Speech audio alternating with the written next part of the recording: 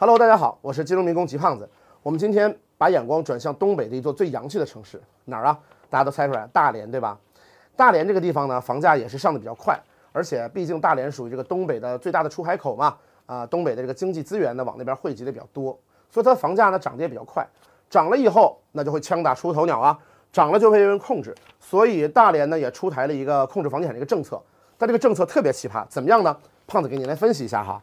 它这个一共六条，一二三啊，等等等等，呃，挺复杂。比如说什么已经网签的怎么样，没有网签怎么样，五六月网签的，五六月以后的有了预售证了，没有预售证的，巴拉巴拉。但总的来说就这个意思。第一个，如果你这个房子已经啊备了案了，那么你将来网签价格不得高于这个备案价。第二个，如果你还没有备案呢，那么你现在可以来重新备案。同样的，你将来往下不能超过这个备案价。第三个，如果你离预售还很远，但你已经备了案，我允许你撤回来重新备一次，但是不许涨。第四个，想跌是吗？也可以，但是跌幅不得大于百分之五。啥意思？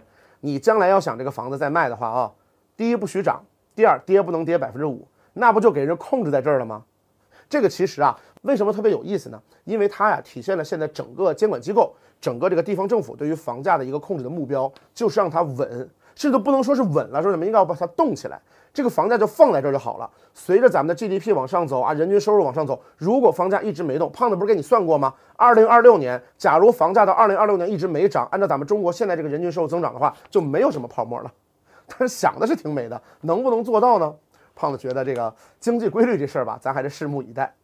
那不知道您在不在大连，或者说您所在城市也有没有类似大连大连出台这种呢？既不许涨也不许跌，你就在中间给我横杠着这样的冻结政策。如果有的话呢，欢迎跟胖子一块来探讨一下。欢迎关注金融民工及胖子的优酷账号，打开优酷视频首页，搜索金融民工及胖子，点击头像，哎，就我的头像，进入主页就能看到关注按钮。下次想看胖子的节目，直接点击关注列表就可以观看了。